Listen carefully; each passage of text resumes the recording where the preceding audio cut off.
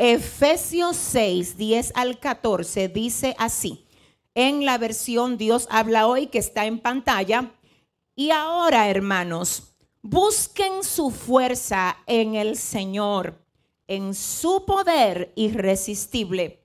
Protéjanse con toda la armadura que Dios les ha dado para que puedan estar firmes contra los engaños del diablo.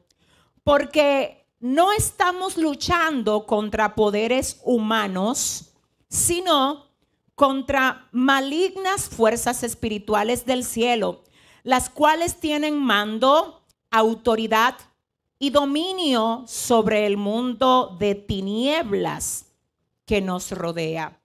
Por eso, tomen toda la armadura que Dios les ha dado para que puedan resistir en el día malo y después de haberse preparado bien, mantenerse como firmes. El verso 14 dice, así que manténganse firmes, revestidos de la verdad y protegidos por la rectitud. El verso 17, la parte A de ese mismo capítulo dice, que la salvación sea el casco que proteja su cabeza. Amén. Ahora vamos a 2 de Corintios 10, 4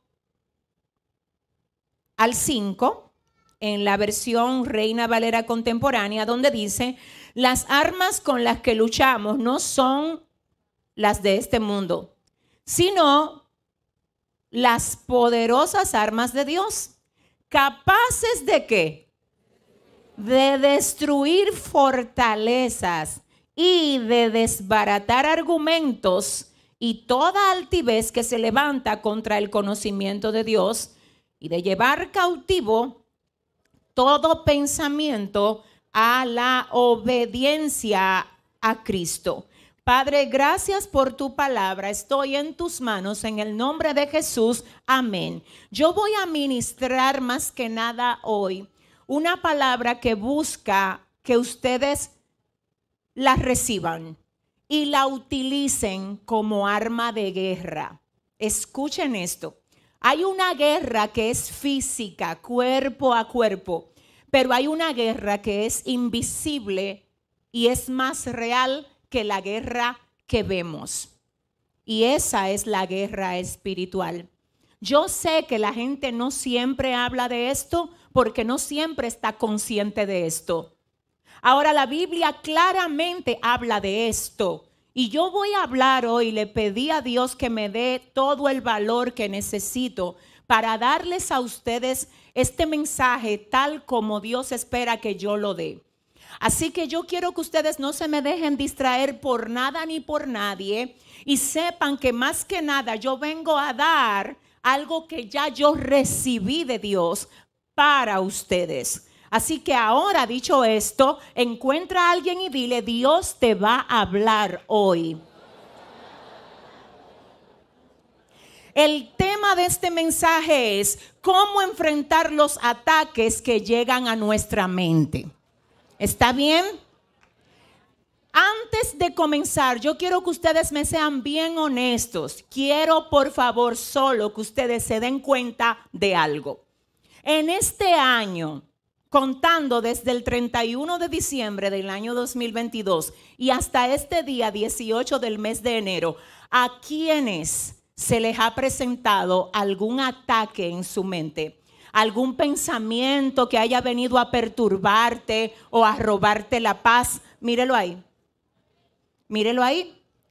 Dios en medio de tu perturbación te vio y Él tiene una respuesta para ti hoy. Y quiero que sepas que la persona que te habla también fue sacudida con esto.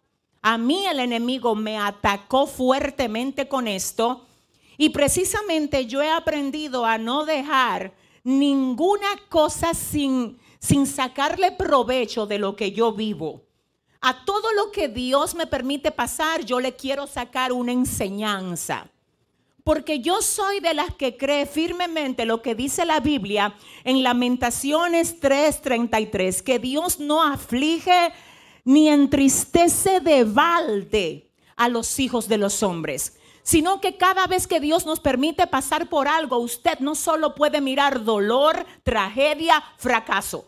Usted tiene que ver cuál es la lección que hay dentro de esa vivencia que yo tengo que sacar de ahí que aunque ciertamente dolió, dolió, pero dentro de cada experiencia de dolor hay una enseñanza.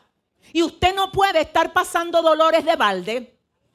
A toda situación de dolor se le saca provecho y se le saca la enseñanza para uno poder edificar a otros con lo que uno ha vivido.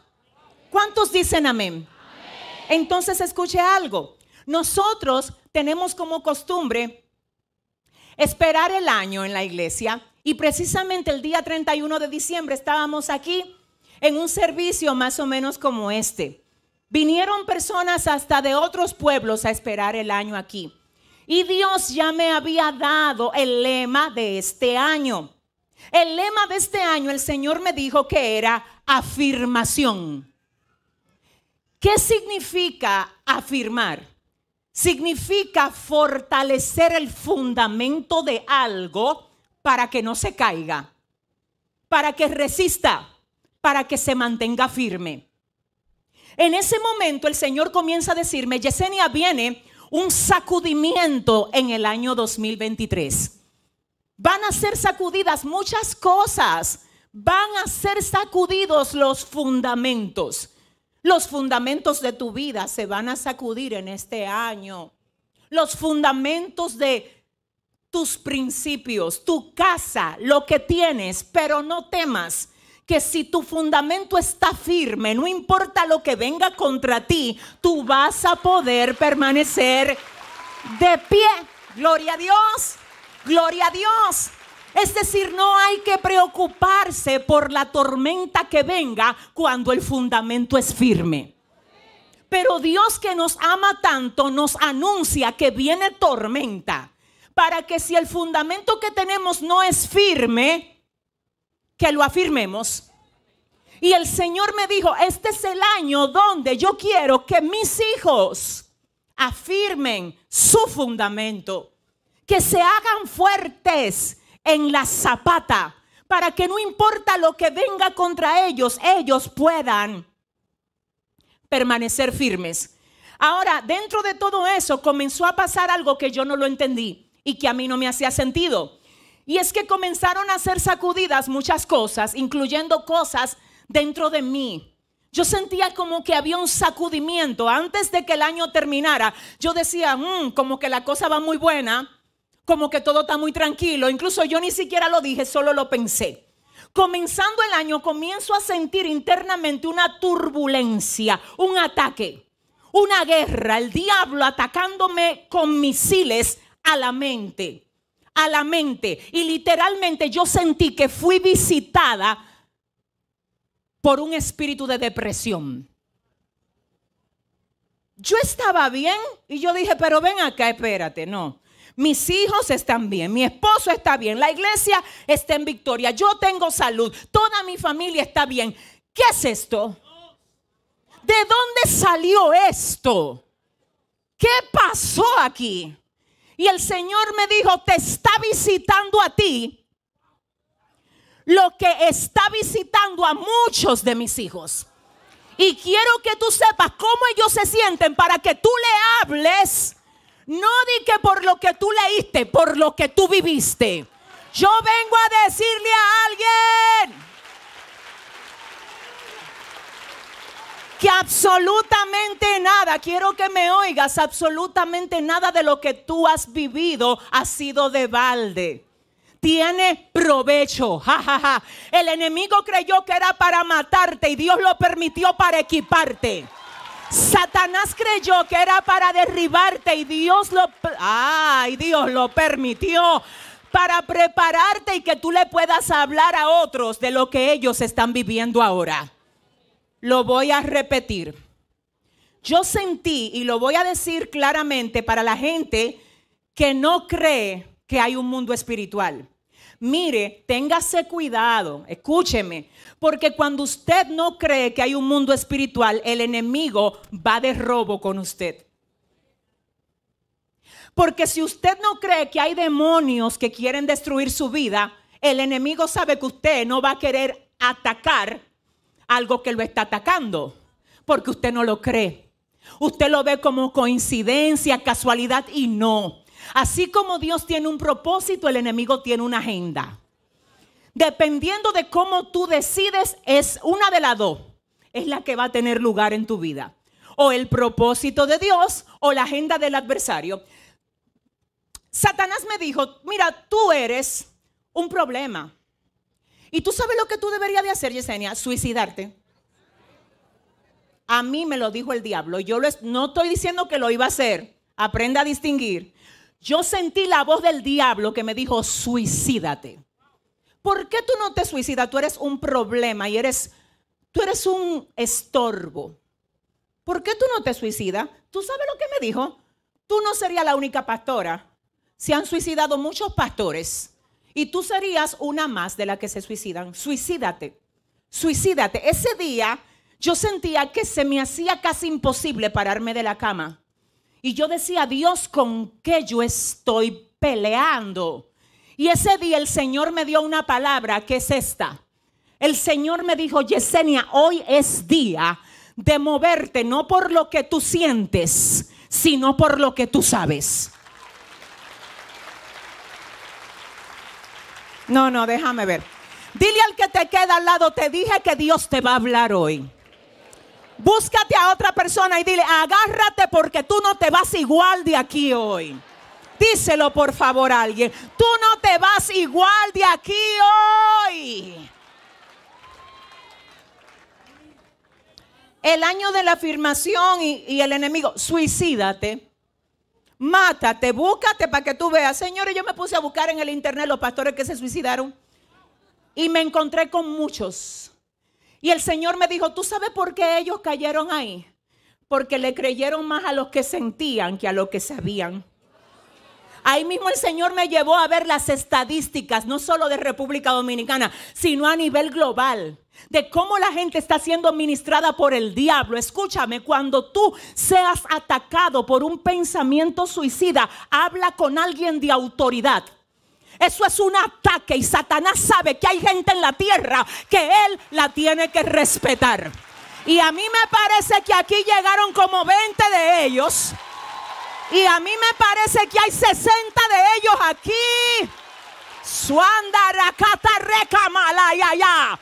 Todo el que ha sido atacado en estos días con tristeza que tú no sabes de dónde sale, eso es ataque.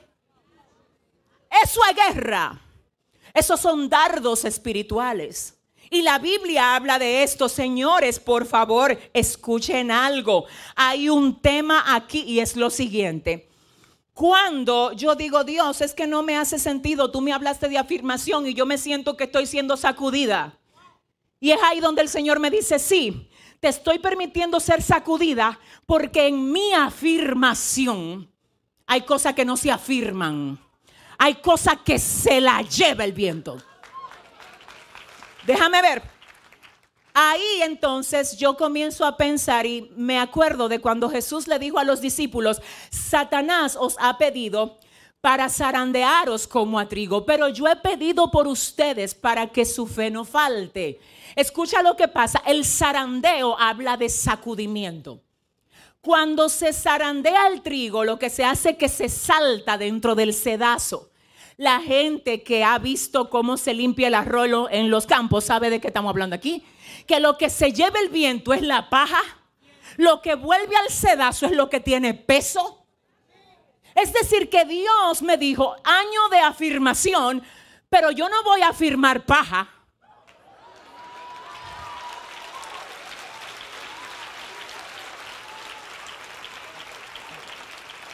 Yo no voy a afirmar paja, la paja se va. Yo lo que voy a afirmar es lo que alimenta. El trigo, lo que es, uy, lo que yo quiero que se quede contigo Pero yo todavía digo, Dios, es que no te entiendo. Dice el Señor, lo que pasa es que lo que va a pasar afuera, Yesenia, primero pasa adentro. Si yo primero no te sacudo dentro, yo no, es que tu fundamento ahora se está probando. Si yo recibo ese ataque del enemigo sin fundamento, yo le voy a aceptar la sugerencia. Se sabe cómo está tu fundamento cuando tú recibes ataques mentales y lo manejas de la manera que lo manejes. Es decir, es tu manejo lo que revela tu fundamento. A ver, hay gente que se sabe muchos versículos, pero no aplican ninguno.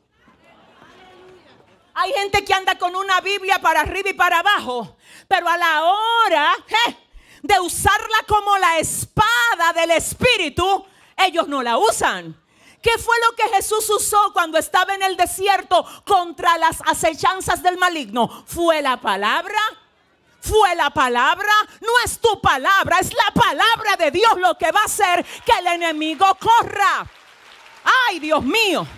Dile a tu vecino, hay cosas que corren de tu vida en este año.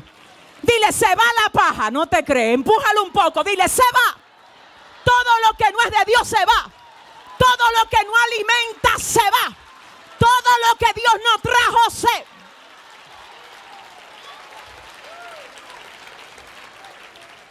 Sacudimiento que se lleva lo que Dios no va a firmar. No va a firmar porque no te alimenta. No lo va a firmar porque no está dentro de su voluntad para ti. Y como no lo va a firmar, se lo va a llevar. Y va a haber cosas en este año que se van de tu vida y tú no puedes llamarle pérdida.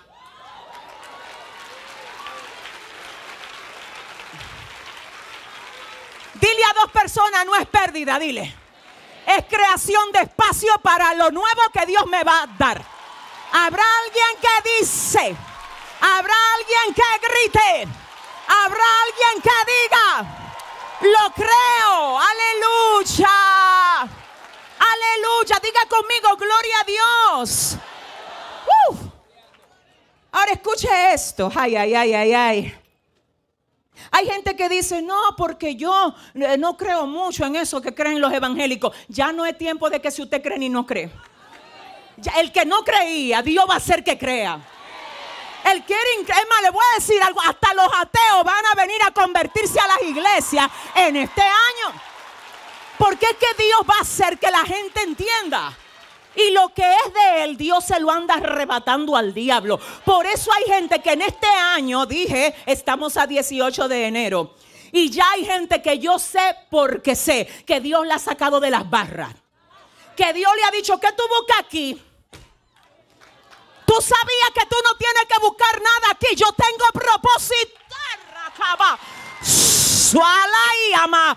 Dile al que te queda al, año, al lado, año de la afirmación. Díceselo a tres, por favor. Dile, año de la afirmación, año de la afirmación, año de la... ¿Dónde está la gente que Dios va a afirmar en este año? Escuche algo ahora bien. ¿Por qué el enemigo ataca nuestra mente? Diga conmigo, ¿por qué?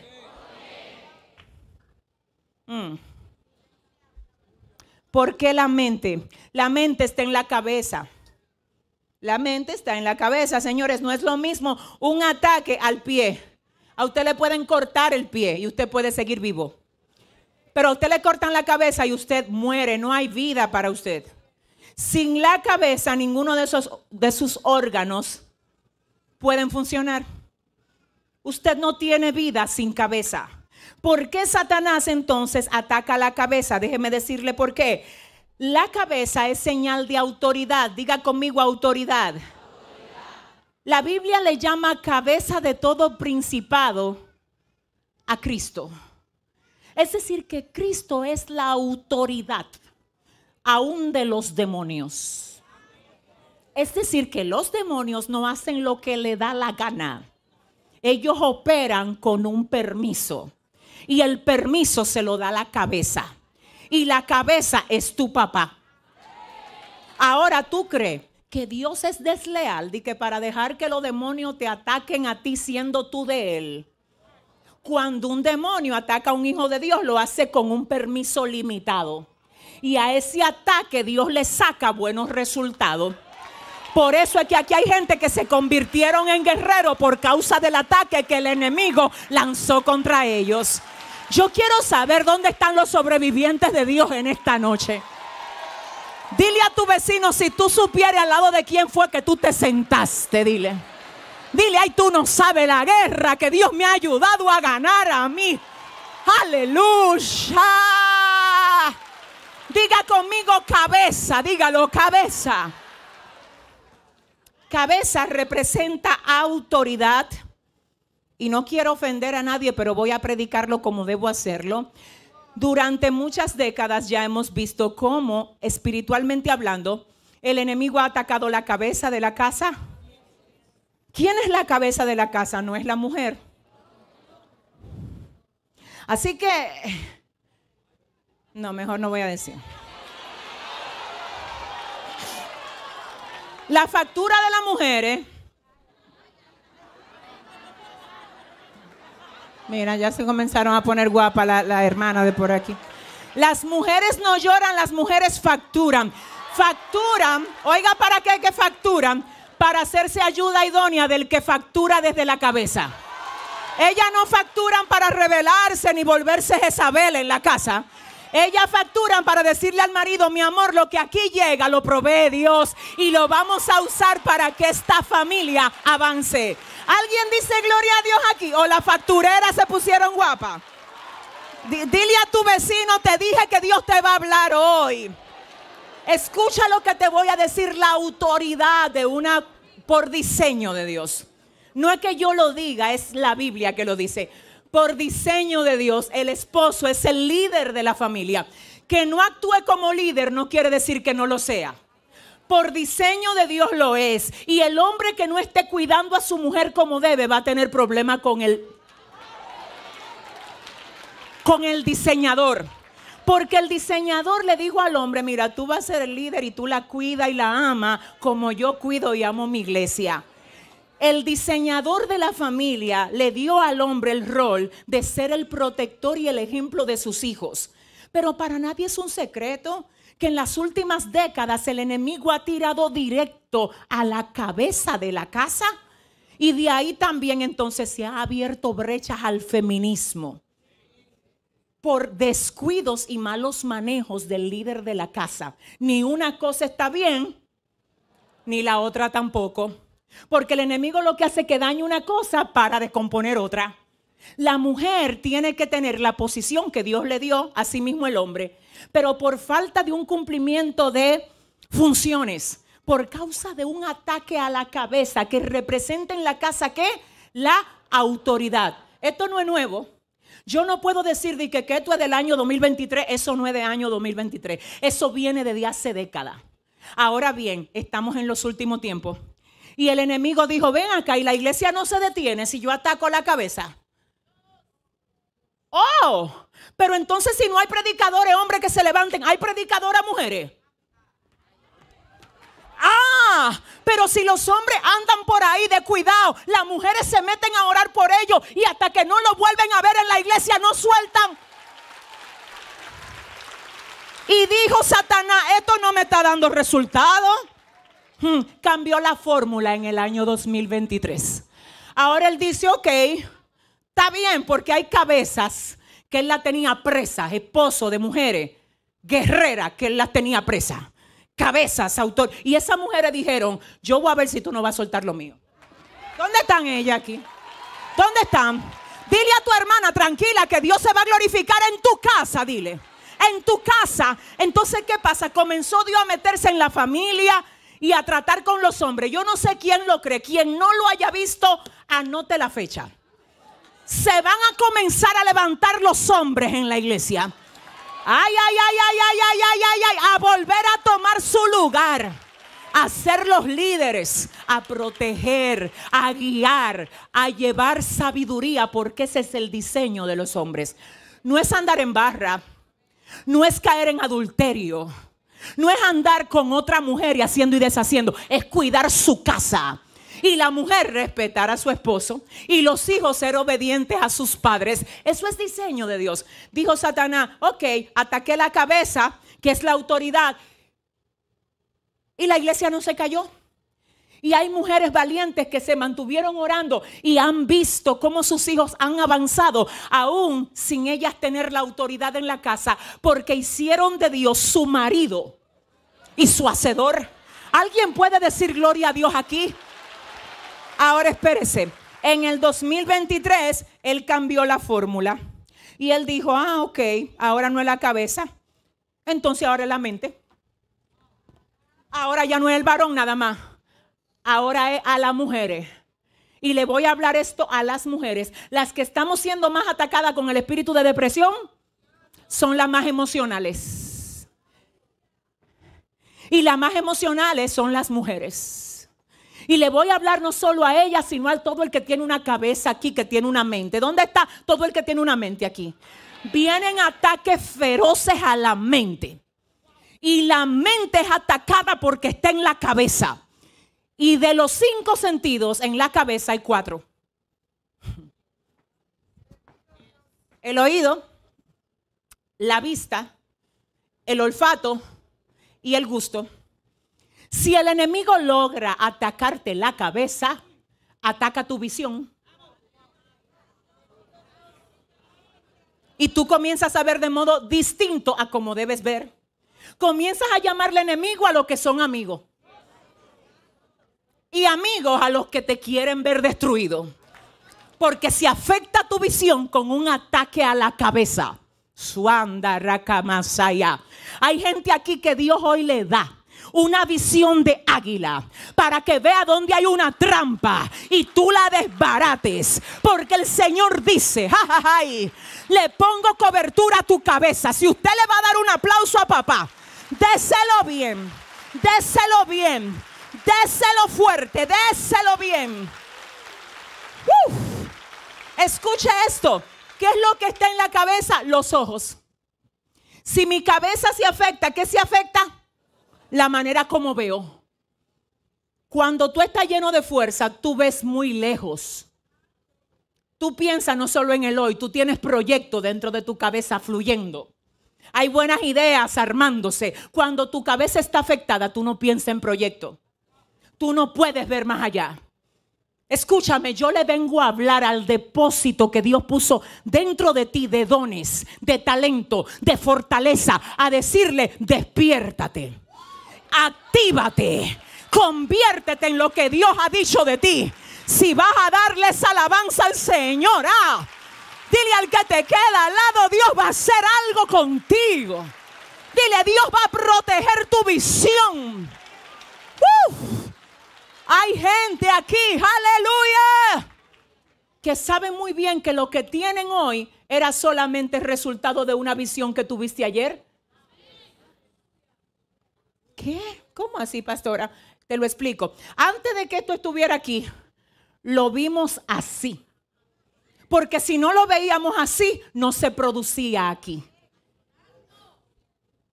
Lo que el enemigo sabe que tú puedes alcanzar, él no lo ataca cuando tú lo alcanzas. Él lo ataca cuando tú lo piensas. Porque si te lo destruye en la mente, tú nunca lo vas a manifestar.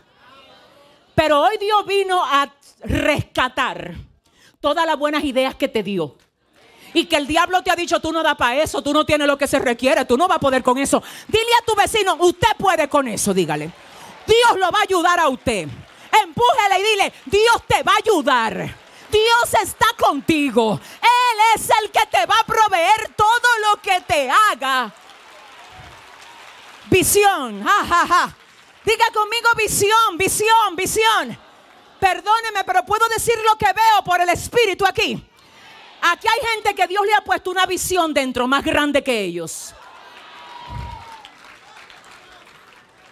La visión es más grande que tú. Por eso tú no puedes hacerla solo. Tú no puedes sola. Dios te está poniendo gente. aquí. Dios te está conectando con la gente que te va a ayudar. Porque eso que tú tienes fue Dios que te lo puso. Y ahora viene el enemigo a quererte quitar la visión. ¿Y cómo? Atacándote la cabeza. ¿Y cómo? Con ataque de tristeza. ¿Y por qué? No se sabe. ¿Y este abuso? Diga conmigo, pero ¿y este abuso? Dile, esto se rompe aquí hoy. No, usted tiene que decirlo con autoridad. Diga, esto se rompe. Aquí, hoy, aleluya. Visión. ¿De dónde sale la visión? Del pensamiento. Del pensamiento. Del pensamiento. Lo que yo pienso, lo armo ahí. Tú ves, si es de Dios, se tiene que quedar en mí. Si es más grande que yo, está bien, porque te digo algo. A veces Dios va a traer a ti proyectos que son mucho más altos que tú. Oye, ¿por qué? Porque si son menores que tú, tú lo vas a alcanzar fácil. Si son de tu tamaño, tú lo vas a alcanzar con cierto esfuerzo. Si son más grandes que tú, tú lo vas a necesitar a Él para alcanzarlo. Y Él quiere ser tu socio. Dios quiere ser tu socio. ¡Ay! No te importa de que, se fue el otro socio. Dios quiere ser tu socio. Habrá alguien que diga, Dios, ven, sé mi socio. Dios va a asombrar gente aún de tu propia casa que dijeron, tú no vas a alcanzar eso. Prepárate que hay mucha gente de ellos que eres tú que la va a mantener. Lo que no creyeron en tu visión, tú lo vas a mantener con tu producción. Es que si tú lo crees, tienes, tienes, tienes que darle un fuerte aplauso al Señor. Escúchame. Si afecta la mente, diga conmigo mente, visión y lo que tú dices. Por el ataque a la mente se afecta lo que tú ves, lo que tú piensas, lo que tú dices. Lo que veo, lo que pienso, lo que digo. Hoy aquí el enemigo no quería que tú llegaras. No, porque es que desde hoy a él se le acaba el relajo contigo. Es que desde hoy todo lo que él quiso detener en ti, Shatarama, Dios lo va a acelerar. Es que yo quiero saber si hay gente preparada para avanzar en medio de la tormenta. No tiene que ser fácil, no tiene que ser fácil. No tiene que ser fácil para tú alcanzarlo. Tú solamente tienes que tener a Dios como socio y a Cristo como fundamento. Y vamos a ver quién puede contigo cuando Dios es tu socio y Cristo es. Si usted tiene a Cristo como fundamento, dele fuerte el aplauso al Señor. Mm. Escuche esto para ir avanzando rapidito. Hay dos extremos en lo que es el pensar cristiano. Hay unos evangélicos por ahí que creen y dicen, ay, ya no hay que pelear con nada porque Cristo ya venció en todo por nosotros. Claro está, escúcheme, claro está que Cristo venció y en Él nosotros somos más que vencedores por medio de aquel que nos amó. Pero, señores, la Biblia en ninguna parte nos deja a nosotros el espacio de pensar que no tenemos una batalla en la que tenemos que, pelear.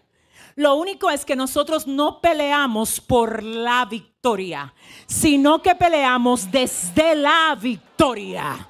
Y si hay alguien aquí que está ya en la victoria, escuche, algunos dicen, no, no, no hay que pelear. Y otros dicen, hay que pelear por todo. Usted no puede tampoco pelear por todo. Escuche, yo no ando peleando con todas las cosas porque no todo merece la pena. No a todo se le responde, no con todo se pelea. Usted tiene que elegir sus batallas porque hay gente que vive desgastada porque no saben escoger sus batallas. Escucha lo que te voy a decir, vida mía. Escucha esto. Cuando tú te pones a pelear con todo lo que te ataca, escucha, cuando venga lo que tú tienes que contraatacar, tú vas a estar gastado, sin fuerzas y sin recursos. Porque agotaste todos tus disparos a algo que no le tenías que disparar, sino que lo tenías que ignorar. Hay cosas que tú la vas a ganar ignorándolas. No, yo sé que me dan tiempo, 5, 15 minutos más. Escucha esto. Hay gente que te quiere provocar. Ellos quieren verte a ti perdiendo los estribos. Ellos te quieren ver fuera de casilla. Y saben cómo hacerlo. Ellos saben exactamente con qué tú te molestas. Y tú vas a decir, ¿y cómo yo lo enfrento? Desconéctate el cable. ¿Cómo así? No entendí. Escucha lo que pasa. Si a ti lo que te molestaba era de que, que se burlaran de ti, cuando vengan a burlarse la próxima vez, que ellos se den cuenta que eso ya a ti no te mueve. Porque a veces tú esperas que sea la gente la que cambie y quien tiene que cambiar eres tú. Yo vengo a profetizarte algo. Hay cosas que Dios no las ha cambiado porque las está usando para hacerte más fuerte a ti, para cambiarte a ti, para hacerte resistente a ti. Shanda, recabashanda. Escúchame, Dios te ama tanto que Él no te ha hecho caso cuando tú le has dicho, quítame la vecina esa que me saca de casilla. Ay Señor, ¿por qué tú no dejas que voten a ese supervisor? Yo soy tu siervo. Mira cómo me hace pasar vergüenza. Dice el Señor, es que si yo hago eso, te voy a hacer creer a ti que tú no eres resistente a eso. Déjame repetirlo. Si Dios hace que voten al supervisor que te quiere hacer pasar una vergüenza siempre delante de la gente, tú vas a pensar que tú no puedes con eso. Y que Dios hizo que lo votaran porque tú no puedes con eso. Dice Dios, no, yo tengo una mejor idea. Yo te voy a revelar a ti del material que yo te hice. Y yo te voy a enseñar, aleluya, aleluya, aleluya que el mismo fuego que derrite la cera es el que endurece al barro. Y te voy a enseñar que tú no eres cera, tú eres barro. Así es que dile a tu vecino, yo no sé tú, dile, dile, dile, dile. Pero a mí el fuego, dile, no me derrite, sino que me hace mucho más fuerte en el nombre. Dáselo bien el aplauso a tu padre, dáselo bien, dáselo bien, dáselo bien. Uh.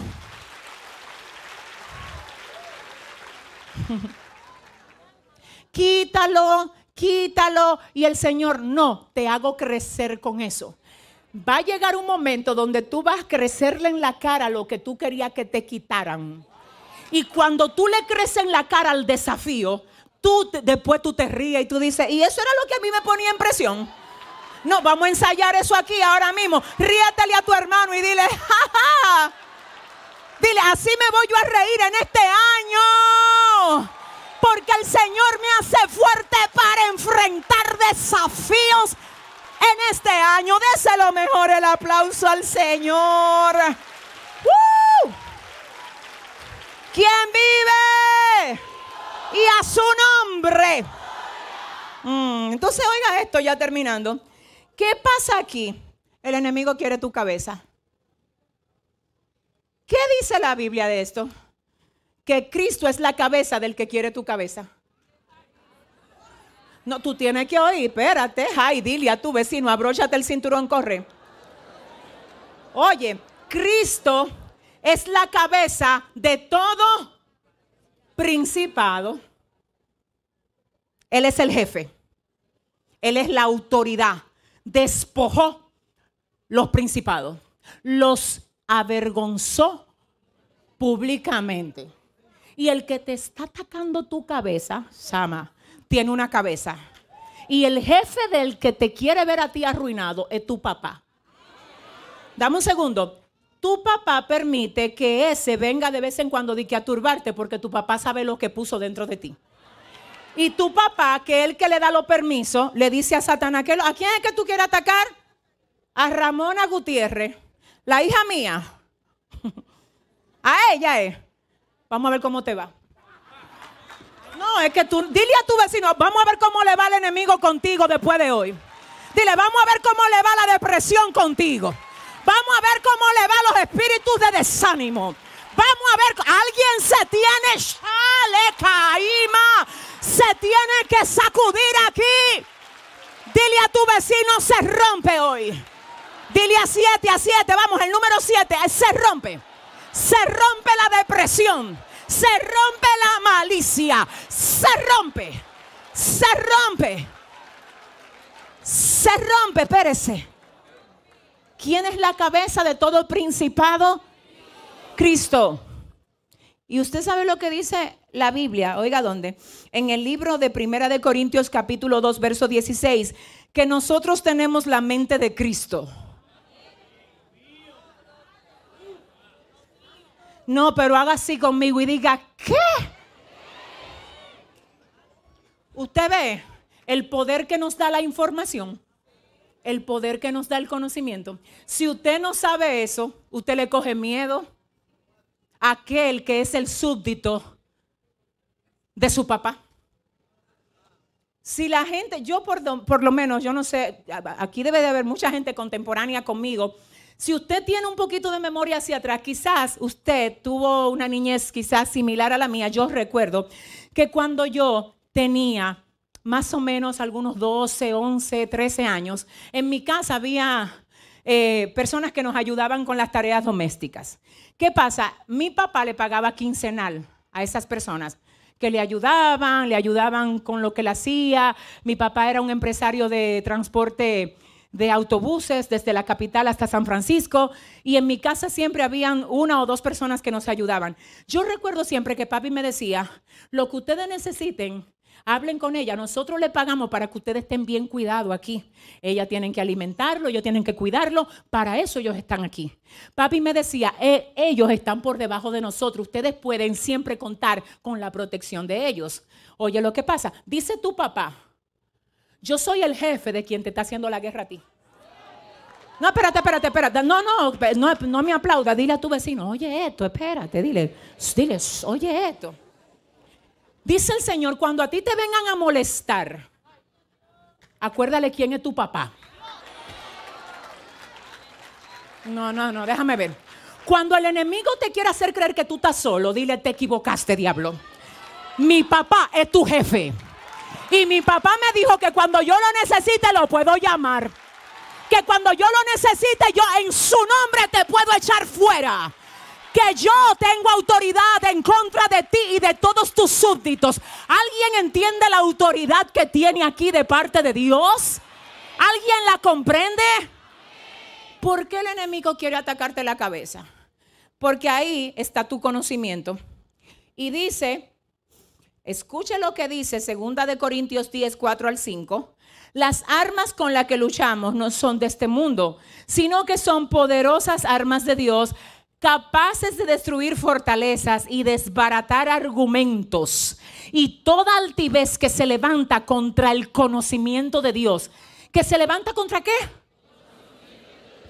Es decir, que los sentimientos que el enemigo nos pone se levantan contra el conocimiento de Dios que tenemos.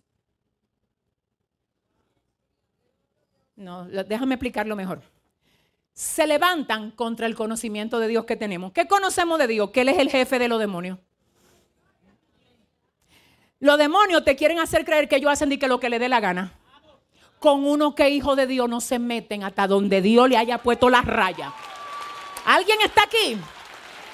Por eso es que cuando uno le dice a alguien, mira, entrégale tu vida a Cristo, ellos creen que eso es meterse a una, una, Ay, yo no me quiero meter a esa religión. Ay, oye, religión.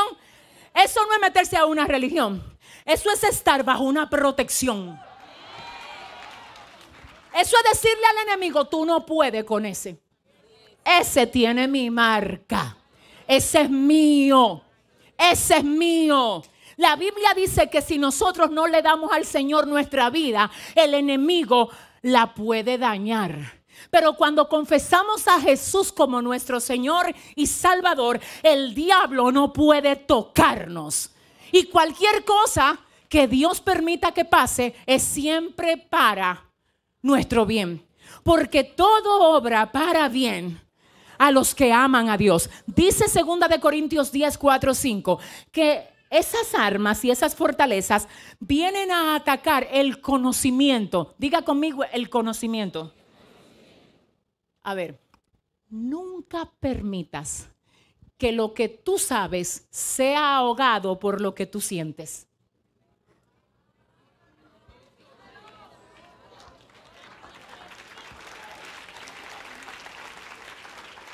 Déjame decírtelo. Si ahora yo sé que segunda de Corintios me dice que el Señor es la cabeza de todo principado, eso es conocimiento, ya yo lo sé. Pero hay momentos donde yo voy a sentir que el enemigo me tiene derrotado.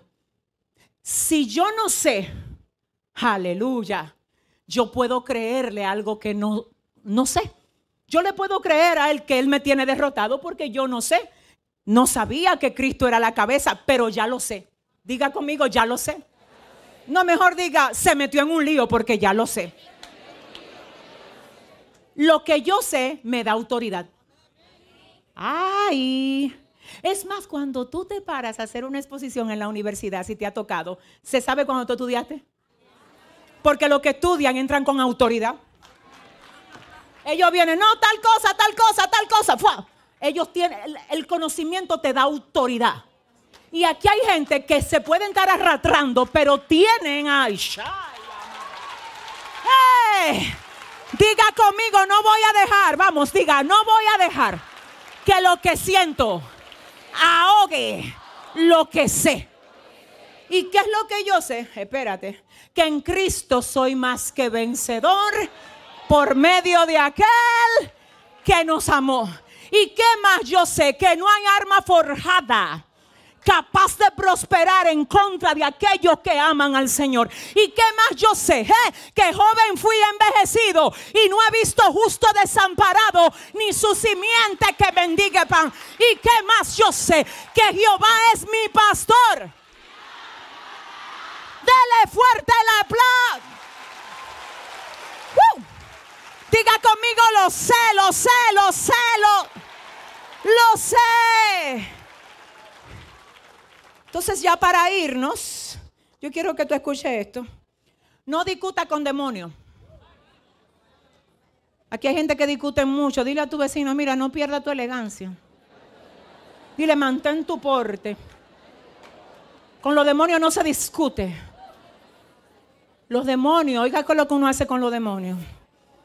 Uno no le da legalidad. Escúchame que ya me voy de aquí. Antes de que ustedes no dile a tu vecino quieto, que esto, es para ti lo que viene ahora. Mire lo que acontece. Dice la palabra que en una ocasión acusaron a Jesús de echar fuera demonios en el nombre de Belcebú. Y Jesús dijo, no, los demonios no se echan fuera en el nombre de Belcebú porque un reino dividido contra sí mismo no puede permanecer. Entonces, ¿qué significa eso? Que yo tengo que definir mi vida. Oiga, ¿por qué? Porque mire lo que pasa y esto es muy importante, usted tiene cara de gente inteligente aquí. Hoy yo estoy casi intimidada predicando con ustedes aquí. Mírenlo, mírenle la cara a su vecino, dile a, ah, dígale a su hermano, ay Dios mío. Dile, ay Dios, dile, ay Señor. ¿Cuántos intelectuales inteligentes vinieron aquí? Dele un aplauso a, a los inteligentes. Escucha esto. Mire lo que le voy a decir. La Biblia dice, cuando el hombre fuerte armado guarda su palacio. En paz está lo que posee hasta que llega uno más fuerte que él y le vence. Y le quita todas sus armas en que confiaba y reparte el botín. Dame un segundo. Hay dos familias en el mundo entero con relación a lo que tiene que ver con lo espiritual. La familia de Adán y la familia de Cristo. Todos nosotros venimos de la familia de Adán. Porque Adán fue con Eva quien usted sabe, convivieron y procrearon toda la raza humana. El Señor solo creó una pareja, no fueron 20, fue una, Adán y Eva. Y de ellos, multiplicándose, salió toda la raza humana. ¿Qué pasa? El primer Adán pecó y nosotros venimos heredando de Adán el pecado original, como decimos, ¿verdad? O la simiente pecaminosa. Cuando Cristo vino, a Cristo se le llamó el postrer Adán. Uh, porque el primer Adán falló y el postrer venció. Y la Biblia dice que por el primer Adán entró la muerte, por el postrer la resurrección.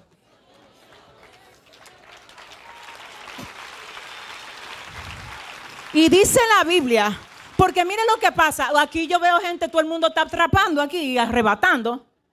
Y entonces hay un tema que todo el mundo aquí ahora, si yo le pregunto, ¿dónde están los hijos de Dios? Todo el mundo hace así. Y no es así. Todos somos criaturas de Dios, pero no todos somos hijos de Dios. La gente que tiene autoridad en contra de los demonios no son las criaturas, son los hijos. Son los hijos. Son los hijos. Oiga esto, escuche algo. ¿Por qué? Porque la criatura que viene con el pecado de Adán no tiene fortaleza en las cosas espirituales. cuando quieren sentirse happy, ellos van y se emborrachan. Ellos van a la discoteca, ellos fuman, ellos se drogan, tienen vicio, usan juca. Los hijos de Dios cuando quieren sentirse fuertes y happy, ellos doblan rodillas, leen la Reina Valera, ayunan, vienen al servicio, atan los demonios, reprenden los diablos, le dicen a Satanás, conmigo tú no puedes. Si ese es el aplauso para tu papá, mejóralo.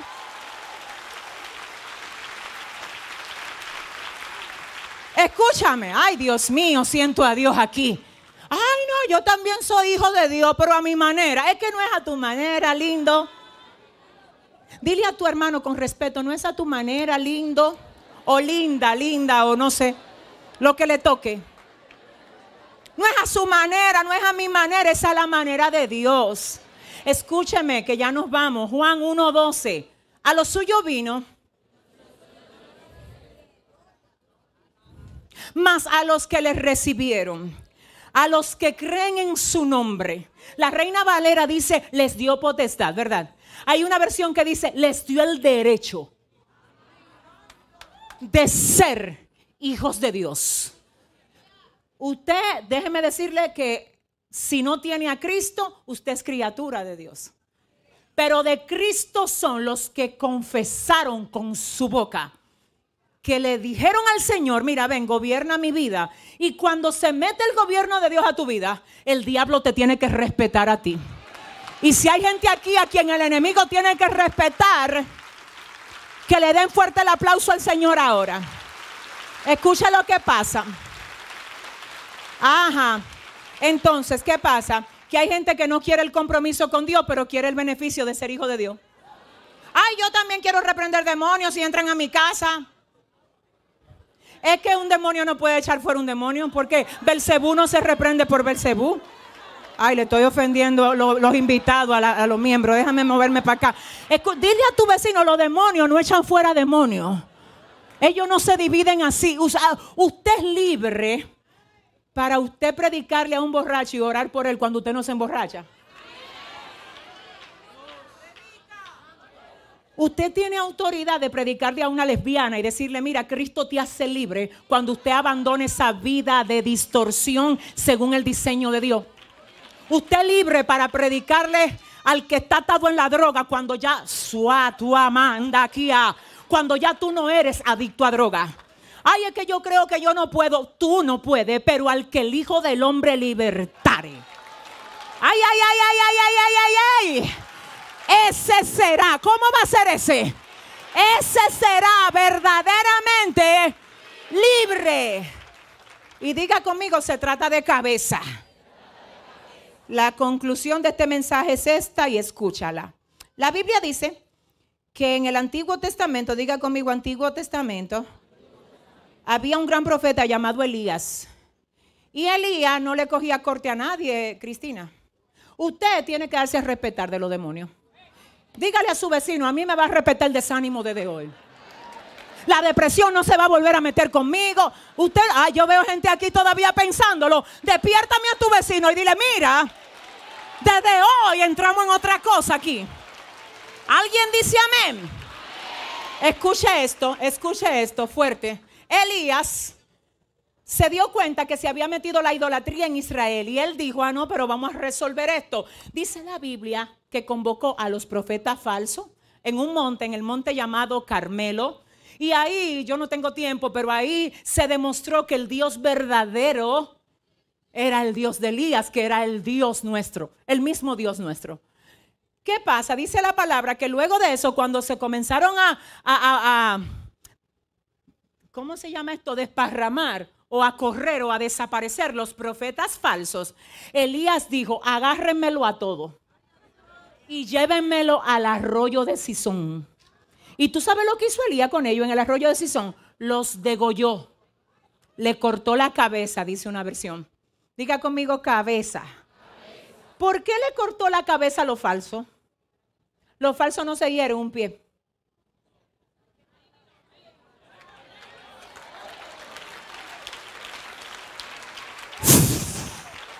Cabeza. Porque si te hiero y no te corto la cabeza, mira lo que pasa. Hay cosas que tú sabes que alimentan lo que no está bien en ti. Y tú sabes por qué que tú todos los días. Ya yo dejé eso, pero vuelve otra vez a las dos semanas. Porque tú lo estás hiriendo y no le estás cortando la cabeza.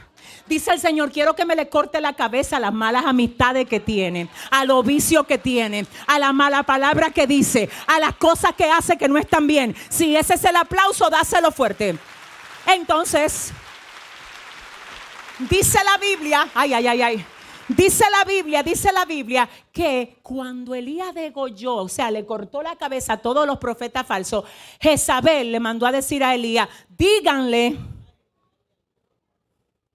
que se prepare, que mañana a esta hora yo voy a haber hecho con él lo mismo. La cabeza de él yo la voy a tener en mi mano mañana. Dijo Jezabel, ¿de quién? Del profeta Elías. ¿De quién Elías era profeta? Diga conmigo, del Dios verdadero. ¿De quién eran profetas los que Elías degolló? ¿Qué pasa? No es lo mismo tú meterte con uno que tiene Dios verdadero que meterte con alguien que lo que adore a Buda, que tiene por Dios una sábila que amarró en la puerta, que el azúcar crema al revés. Dile a tu vecino, ¿qué es lo que a ti te pasa? Dile, se mete la unción que pudre yugo en tu casa hoy. El Espíritu Santo llegó primero que tú hoy a tu casa. ¿Alguien lo recibe? Escúcheme, ay, Elías no amenaza. Él dice, agárreme el batón y le vuelvo a todo la cabeza. Jezabel amenaza y le dice que le digan a Elías que le voy a cortar la cabeza. Y pudo cortársela. No pudo. ¿Por qué? Porque el Dios de Elías le dijo, Elías, vete al arroyo de Kerib. Que allá está aquella hija de Satanás que cree que se puede meter con lo mío. Te voy a revelar algo a ti ahora. Y esta palabra es para alguien que llegó aquí. Hay gente aquí que nada más le sabe agradecer a Dios y que por lo que Dios le ha dado. Yo te voy a exhortar que a partir de hoy comience a agradecer a Dios por lo que tú no te has enterado que Él ha hecho por ti. Porque Dios te ha cuidado de cosas que tú ni siquiera ah, te has enterado. Hay gente que han querido destruirte y Dios no se lo ha permitido. Hay gente que han querido hacerte daño y Dios ha peleado por ti. Ah, Dios mío. Hay gente que, mira, le ha pagado a brujo para haberte destruido. Y mientras más le paga, tú más prospera, Dios más te bendice. Dale fuerte, dale fuerte el aplauso al Señor. Ay, ay, ay, ay, ay, ay, ay. Escúcheme, alabanza. Jezabel no pudo cortarle la cabeza a Elías, porque Elías era siervo del Dios verdadero. Dice la palabra que una mujer llamada Jael, diga conmigo Jael, se le metió un general de un ejército enemigo en su casa llamado Císara. Y ella dijo, ah, yo tengo herramientas en mi casa. Císara, te metiste a una casa equivocada. Aquí tengo yo un mazo y una estaca. Y Císara dice, ay, yo tengo sed, búsqueme agua. ¿Sabe lo que hizo? Le buscó leche para que se durmiera rápido. Duérmete ahí tranquilo, Císara, que cuando tú te duermes en mi casa, yo voy a agarrar el mazo, ay, ay, ay, y le estaca. Y dice la palabra que Jael, al general del ejército enemigo, le traspasó la cabeza. Deme un segundo. Ya todos los guardias estaban muertos. Ese era el general. Y usted dirá, y si todos los guardias estaban muertos, si todos los soldados ya estaban muertos, ¿por qué tenían que hacer que muriera el general? Déjame explicarte por qué, mi amor. Si no hay soldado y hay un general, la cabeza rearma el ejército. Pero los soldados sin cabeza se dispersan. La Biblia dice, y era el pastor, se dispersa, mata al, al general y el ejército no se vuelve a levantar. Tú estás matando soldados. Quemé la foto. Ríetele un poco a tu vecino y dile. Borré su número de WhatsApp. Lo eliminé de Instagram. No es Instagram, no es WhatsApp, es cabeza. Dile a tu vecino, es desde la cabeza que me lo llevo hoy. Es que lo que me estaba haciendo la guerra hoy le corto la cabeza. Si alguien vino aquí hoy a cortarle la cabeza a algo que se ponga de pie.